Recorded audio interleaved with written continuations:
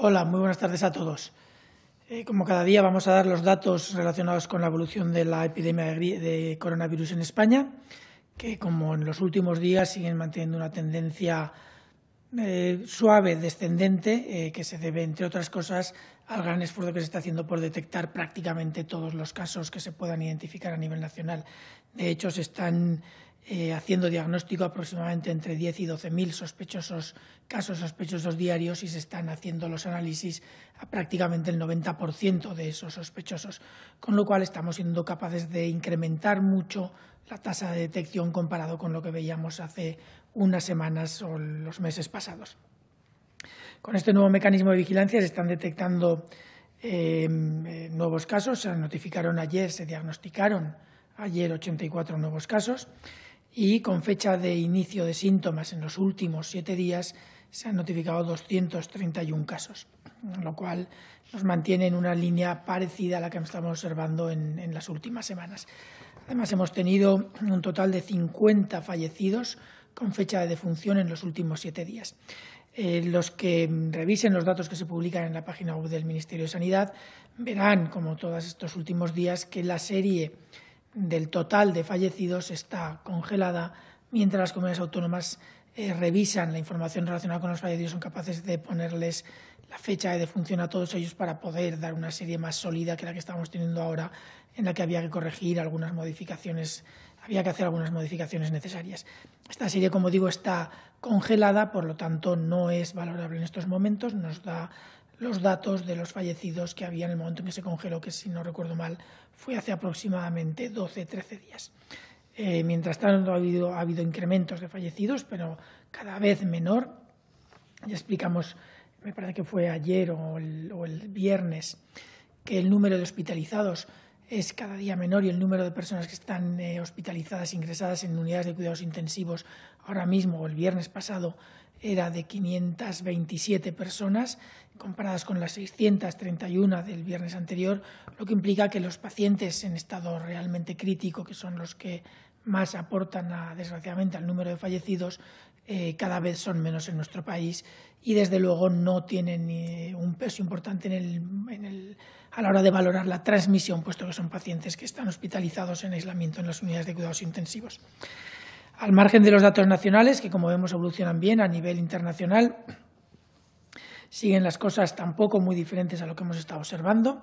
Si bien hay algunos eh, valores, eh, digamos, eh, que llaman un poco la atención en cuanto a la evolución de la epidemia en algunos países.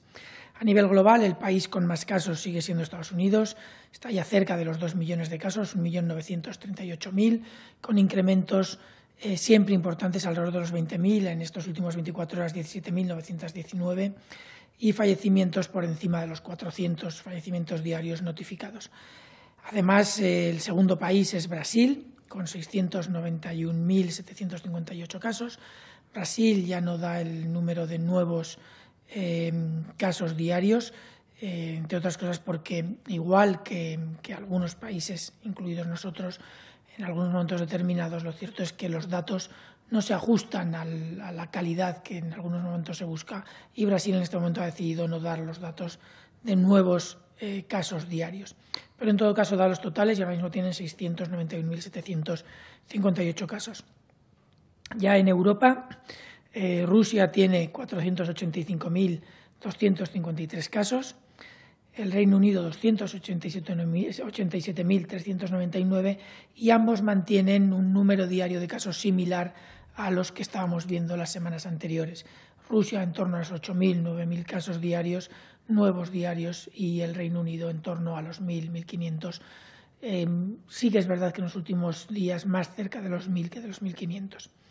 Después de estos dos países, eh, viene otro país eh, de otro continente, asiático esta vez, es la India, que tiene 266.598 casos, con incrementos menos marcados que los que estábamos observando hasta que Brasil estaba, dando casos diarios eh, bastante menos marcados y sobre todo mucho menos marcados que los de Estados Unidos, más similares a los que está dando Rusia, pero sí que tenemos que tener cuidado con los datos de, la India. La India es un país enorme con una población muy concentrada y no tenemos muy claro la, exhaustividad en la información que puedan tener.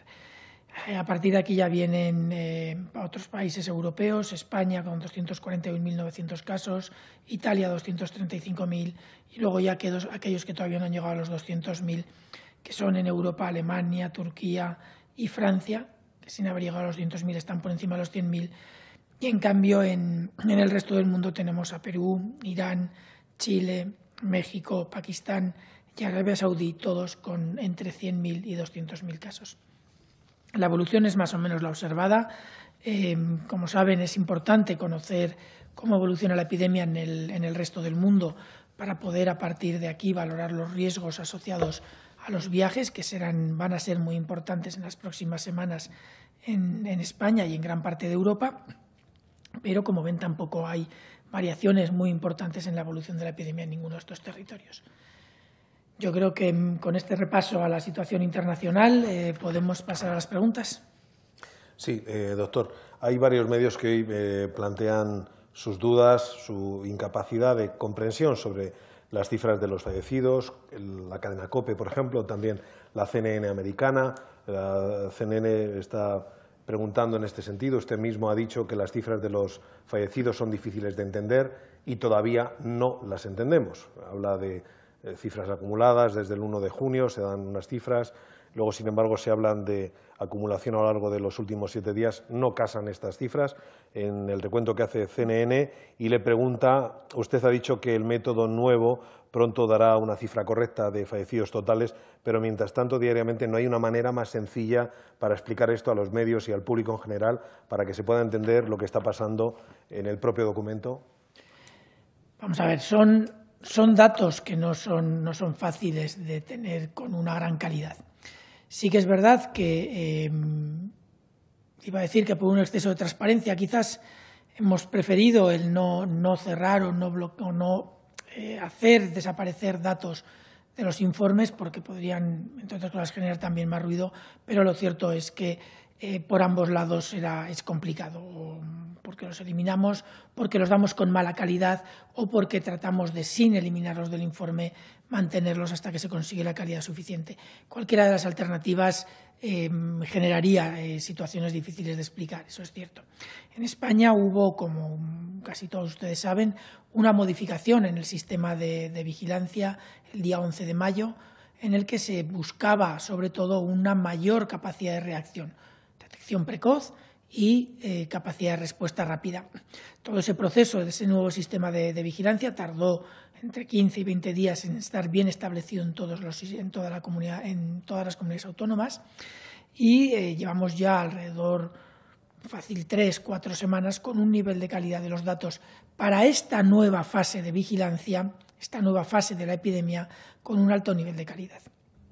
Sin embargo, es cierto que eh, desde el 11 de marzo hacia atrás los datos, para garantizar la calidad de los datos nuevos, los datos antiguos han tardado más en completarse eh, la información. Se ha tardado más en completar las fechas de fallecidos, las fechas de hospitalización, las fechas de ingreso en UCI y algunas otras variables relacionadas con ellos. Por lo tanto, esto nos genera algunas distorsiones, no tanto en las series de fallecidos eh, que iniciaron síntomas a partir del 11 de mayo, sino en los fallecidos que habían iniciado síntomas previamente, pero que pudieron fallecer después. Estos son los que nos están generando problemas porque sus fichas están tardándose un poco más de lo esperado en actualizarse y, por lo tanto, podemos tener un número de fallecidos, pero no sabemos exactamente en, general ya tenemos muy buena información, pero es cierto que aún falta alguna comunidad por, dar, por terminar de corregir los datos y, por lo tanto, vamos a esperar a que todas estén en condiciones de darlos correctamente o podamos tener la información correcta de todas para exponerlos. Pero sí que es cierto que algunas están teniendo algún problema más, por, básicamente por el volumen, para eh, cerrar las fichas de las, de las, personas que iniciaron síntomas antes del 11 de, de mayo y que pudieron fallecer después. Esto es lo que nos hizo en un momento determinado bloquear la serie hasta que esta base de datos con los datos del sistema de vigilancia previo se pudiera actualizar correctamente. Yo creo que eso mm, va a tardar muy poco, no les puedo decir cuándo, yo espero que pronto, Eh, nosotros tenemos muchísimo interés en dar estos datos cuanto antes y cuando vayamos a dar los datos haremos una explicación lo más exhaustiva posible, exactamente con qué formato, para que todos los medios de comunicación puedan entender bien todo el proceso y todo lo que está sucediendo y pueda suceder con, estos datos de fallecidos.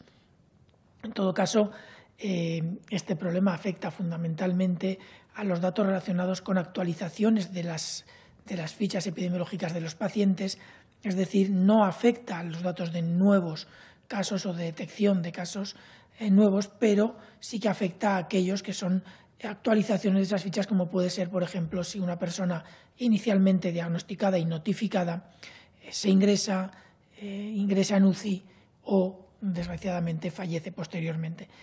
Los datos que se están dando de fallecidos con fecha de defunción en los últimos días son datos sólidos, pero Sí que es cierto que las fechas de función de ayer eh, pueden terminar de completarse, o las personas que fallecieron ayer pueden terminar de completarse si la introducción de, los, de sus datos en la ficha epidemiológica tarda 24 horas. Es un retraso comprensible, pero si se dan cuenta la evolución de los fallecidos con fecha de función en los últimos siete días, se mantiene más o menos en unos rangos equivalentes en los últimos días, incluso a la baja.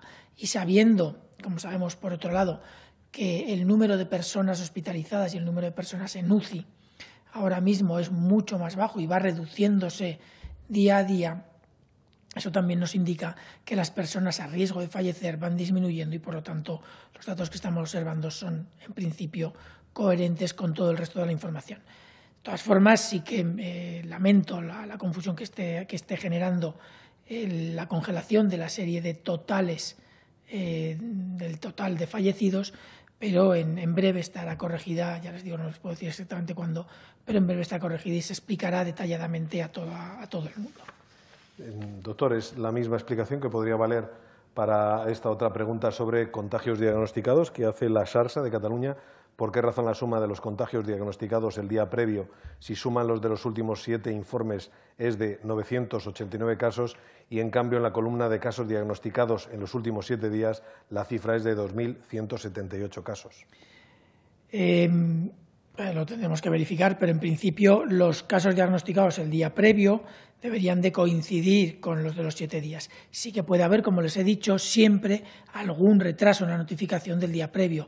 Eh, no debería de ser, pero la notificación es la fecha de notificación a los servicios de salud pública de la comunidad autónoma, no a nuestro servicio, con lo cual puede haber algún pequeño retraso, pero en principio debería, debería de coincidir. No, no eh, tengo mucha más explicación ahora, lo revisaremos de todas formas por si hemos cometido algún error. Yo creo que estará más relacionado con ese posible retraso. En todo caso, precisamente por ese posible retraso, se están dando no una, sino tres eh, variables relacionadas con la fecha de diagnóstico. Los diagnosticados el día previo, que es poco más o menos lo que estábamos dando hasta el día 10 y es equivalente y esa serie se puede más o menos conseguir seguir manteniendo. Tenemos los diagnosticados en los siete días previos y los diagnosticados en los 14 días previos. De todas ellas, por supuesto, la más estable, la que menos error o margen de error puede tener, es la de los 14 días previos, porque si hay algún retraso en transmisión al, Ministerio, se corrige con los días y el error que pueda haber se diluye en 14 días. En los siete días previos ese error también se diluye, pero se puede diluir un poquito menos, y en el último día puede haber algún error mayor. Sin embargo, sí que es cierto que los, eh, que los casos diagnosticados el último día pueden sufrir algún retraso a la hora de llegar a los servicios centrales comunidades autónomas y después al Ministerio. Eh, son, son detalles que las diferentes series nos permiten valorar correctamente. Esto, por ejemplo, nos ilustra bien algunas preguntas que se hacían eh, durante la fase más, más, alta de la pandemia, en el que algunas fechas, en algunos datos de acumulados, no sumaban exactamente igual de un día para otro. En algún momento algún periodista lo, lo mencionó y estas son razones por las que esos datos en muchos casos no suman exactamente lo mismo porque los datos se tienen que ir reactualizando retrospectivamente. En este caso no estamos hablando tanto de notificación como de diagnóstico. Y la notificación puede ser un poco más retrasada.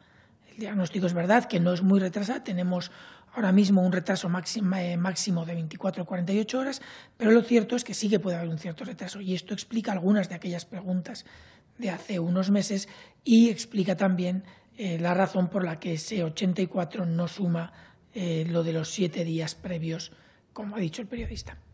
Doctor, como sabe, su trabajo está siendo también, pese a las explicaciones diarias, cuestionado y ha llegado a instancias judiciales. La prensa formula algunas preguntas relacionadas con esta cuestión, como Europa Press, que dice la juez que investiga al delegado del Gobierno de Madrid dice en un auto hecho público hoy que hubo reticencias por parte del Centro de Coordinación de Alertas y Emergencias y demoras sin causa justificada en la entrega de la documentación que se le había requerido. Si puede eh, comentar algo acerca de esta cuestión. Y Radio Nacional eh, pregunta el informe forense del caso que investiga el delegado del Gobierno en Madrid. Sostiene que la epidemia se veía venir y que manifestaciones como la del 8 de marzo deberían haberse prohibido. ¿Qué nos puede decir sobre estas afirmaciones?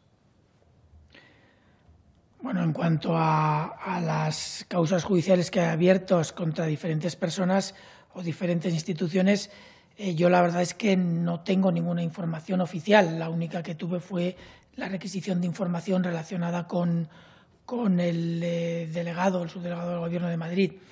Eh, en este caso, eh, la información o la solicitud de información, no recuerdo en qué fecha llegó, pero desde luego llegó en el momento álgido de la epidemia, con lo cual estábamos en una situación complicada de trabajo y con muchísimas horas de trabajo. Se hizo todo lo que se pudo, nos esforzamos, tuvimos varias conversaciones con la persona que firmaba el requerimiento de, solicitud de información para ver los plazos en los que se tenía que entregar y los, y los mecanismos y la forma en la que se tenía que entregar y básicamente seguimos, seguimos sus instrucciones.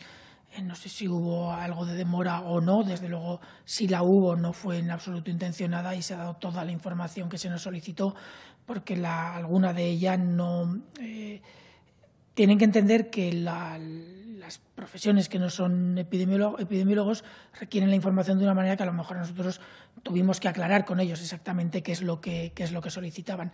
Y una vez aclarado se recogió, se envió en, como se acordó con ellos y no, yo no puedo decir mucho más al respecto. Ahí ya me refiero a lo que, a lo que puedan decir eh, eh, otros grupos, otros profesionales que conozcan mejor estos mecanismos. En cuanto a, a lo de si eh, para el 8M se conocía o no, les puedo asegurar que mm, siempre hemos actuado valorando muy, muy detalladamente toda la información epidemiológica disponible, toda la información que nos proporcionaban las comunidades autónomas. No hemos en ningún momento menospreciado ningún riesgo y toda la información que se ha pasado y todas las respuestas que se han ido dando ante las diferentes situaciones que se han planteado en la pandemia han sido tomadas con la mayor celeridad posible. Eh, realmente si nuestra valoración después de, verificar mil veces la información es que no se podía probablemente haber tomado decisiones como las que se tomaron en, otras, en otros momentos y de hecho eh, la toma de decisiones en España fue probablemente en cuanto al número de casos que teníamos en esos momentos de toma de decisiones eh, más precoz que en otros países. En todo caso, sí que es verdad que después de la experiencia que hemos tenido, todos hubiéramos querido eh, evitar todos los casos y todos los fallecidos que hemos tenido, por supuesto que hubiéramos querido, pero la toma de decisiones se tiene que hacer en base a la información disponible y en base, eh, hay más tomas de decisiones tan importantes como las que se tomaron en base a una eh, evidencia mínimamente sólida. Radio Nacional pregunta por una información que se abre paso en las últimas horas y que indica que el virus podría estar circulando en Wuhan desde el mes de agosto. Es lo que se indica en un estudio de Harvard, basado también en fotografías de satélite. Eh, ¿Qué opinión le merece? No sé si ha escuchado acerca de ello. ¿Qué opinión? Eh, me han comentado muy de pasada hace, hace un rato este tema. Eh, la verdad es que no lo puedo decir gran cosa. No he visto las imágenes, no he visto este estudio, no sé lo que realmente puede significar. Me resulta complicado poder valorar algo así. Sí que es cierto que la tecnología eh, es cada día más rápida, mejor, ha avanzado mucho, estos tiempos avanzan que es una barbaridad, pero lo cierto es que no sé hasta qué punto con unas imágenes vía satélite se puede valorar si circulaba o no un virus en una población. Eh, si es un estudio serio, lo valoraremos. Si es un estudio que, bueno, puede aportar alguna línea de investigación en adelante, pues se valorará como tal. Y si es un estudio que no tiene los requisitos técnicos adecuados como para considerarlo, pues evitaremos que nos intoxique con información falsa. Dependerá de, la calidad del estudio el poder valorarlo o no. Hay varios medios que hoy preguntan eh, sobre la posibilidad de que se sigan dando síntomas eh, después de haber pasado la, enfermedad. Eh, por ejemplo, lo plantea salamanca24horas.com. Doctor, siguen existiendo pacientes que después de más de dos meses de haber presentado síntomas continúan dando positivo en prueba PCR. ¿Se trata solamente de personas que han tenido una importante carga vírica y de ahí que siga habiendo tejido residual en virus en narizofaringe? ¿O hay alguna posibilidad real de que sigan contagiando? Em, la buena onda radio pregunta, por otra parte, la OMS, la Organización Mundial de la Salud, está realizando estudios a los asintomáticos y a las personas que tienen el tipo de sangre em, O eh, cero, porque la OMS cree que los asintomáticos no contagian como se creía y las personas que tienen ese tipo de sangre es porque se cree que no se contagian tan fácilmente. Un estudio que se está realizando en 750.000 personas de todo el mundo. ¿Tiene conocimiento de estos estudios? ¿Nos puede comentar algo? Sobre el de los grupos sanguíneos, no. Yo soy grupo cero y me infecté. mucho más no les puedo decir sobre ese estudio porque no lo conozco. Eh, el hecho de que una persona que ha tenido los síntomas pueda seguir teniendo la PCR positiva puede ser lo que ha comentado el, periodista, puede ser que, siga quedando eh, virus en, el organismo que se tiene que ir poco a poco expulsando. Mm, sí que hay cada vez más estudios, y estamos de hecho ahora mismo revisando la bibliografía con mucho detalle, porque sí que parece que hay cada vez más evidencia de que a partir del séptimo día los casos leves eh, ya no transmiten la enfermedad. Eh, séptimo, octavo, estas cosas siempre hay que tomarlas con, los márgenes de incertidumbre a su alrededor necesarios.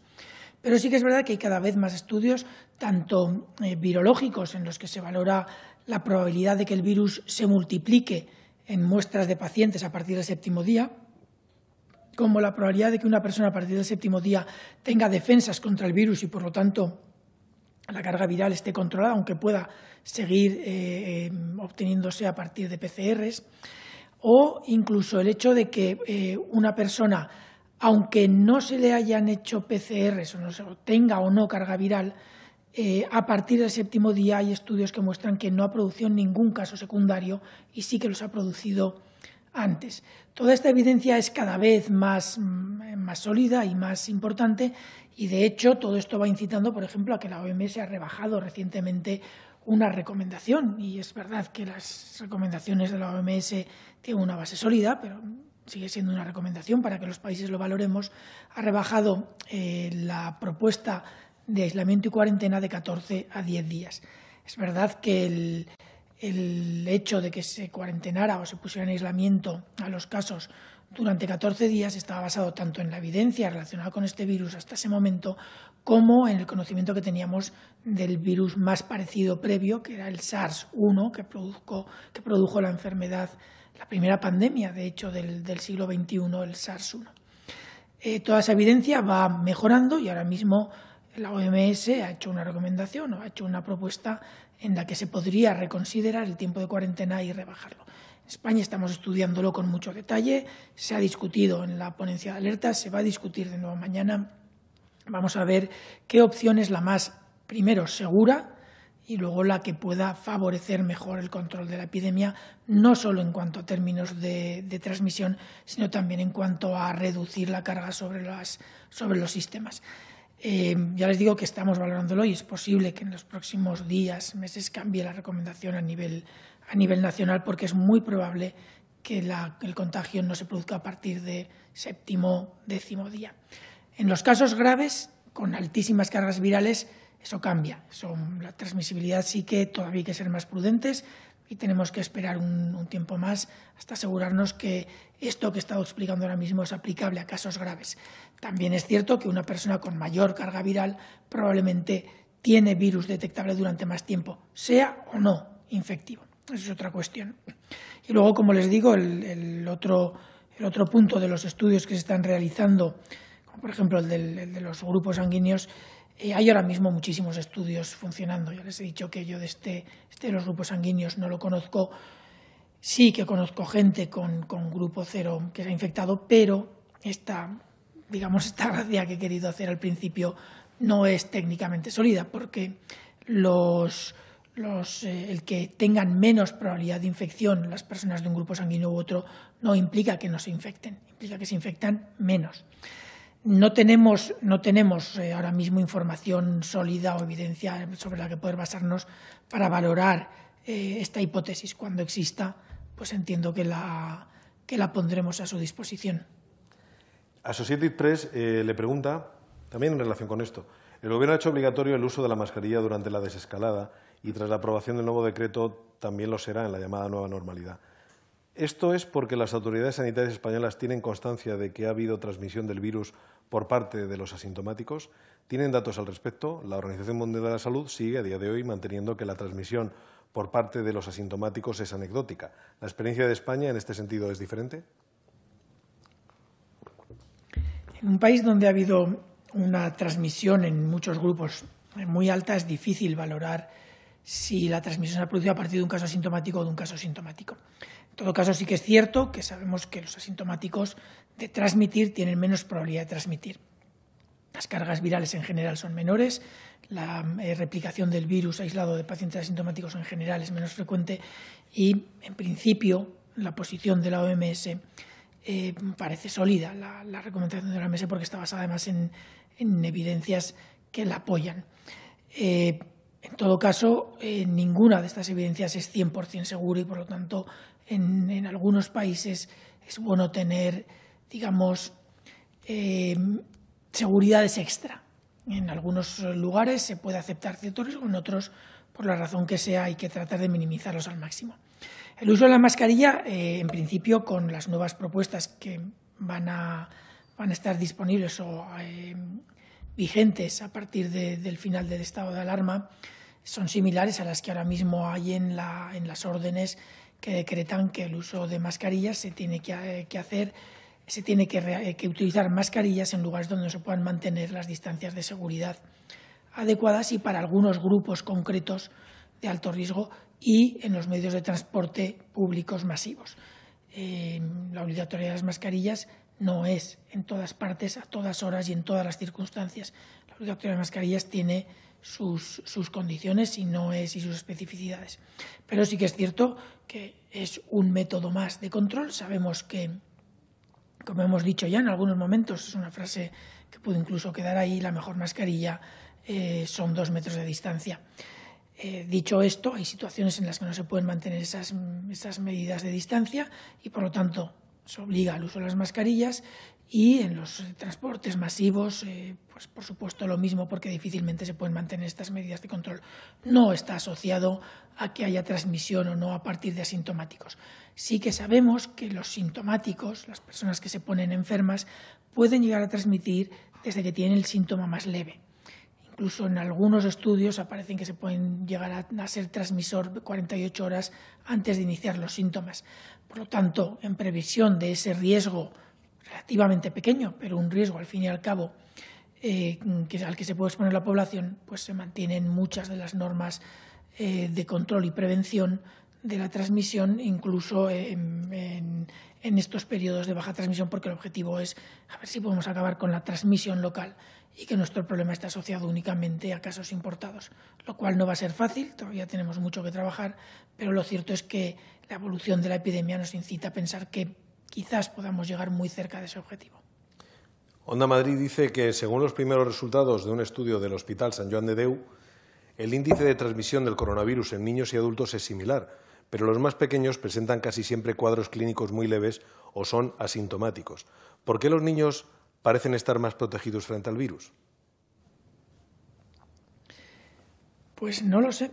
Eh, lo cierto es que cuando hemos discutido este tema ha habido mucha disparidad de opiniones.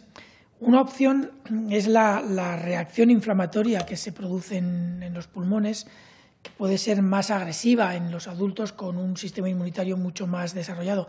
Pero lo cierto es que no, eh, no es un... Seguro que hay estudios, ya les digo que yo no, no tengo clara la razón. Sí que es cierto que la incidencia ya no, ya no solamente que la enfermedad sea más leve, que lo es, pero sí que es cierto que la incidencia también parece ser menor en niños.